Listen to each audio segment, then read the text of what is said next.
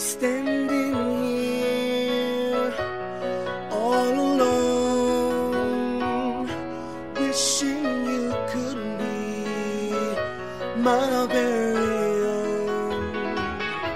If not for tomorrow, then maybe tonight, just to hold.